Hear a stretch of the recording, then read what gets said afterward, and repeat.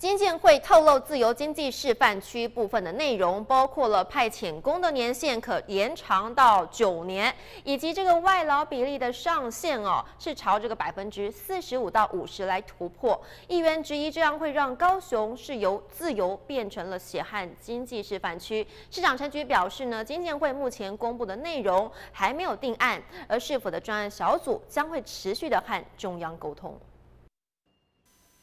经建会主委尹启明透露，将在今日内向行政院报告自由经济示范区的架构，并且订定特别法，排除现有的法律限制。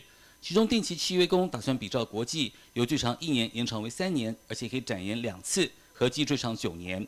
而在劳动力方面，示范区内产业外劳比例上限将大于区外，超百分之四十五或百分之五十的上限突破。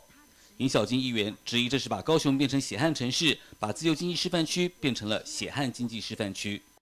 金监会讲得很好，他就说你们可以先用本劳啊，但是你可以用便宜的外劳，企业主当然会用假招募、假雇佣方式去规避嘛。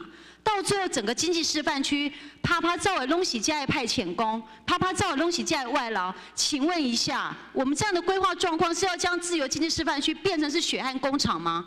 高雄市是血汗城市吗？台湾是血汗国家吗？那我们也会去跟院长金建会，再跟他们做一个进一步的沟通。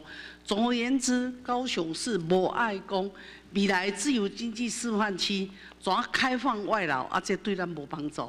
好啊，我们有那么多的劳工，好，大家需要就业。市长陈菊表示，金建会的规划还没有定案。如果正如议员所说的，像廉价加工出口区，对高雄发展并没有帮助。市府专案小组每周都定期开会，也都在与中央沟通。那我相信，我们以李副市长，我们所有的小组会议，未来在这个部分，我们一定会再跟金建会表达我们强烈的意见。谢谢。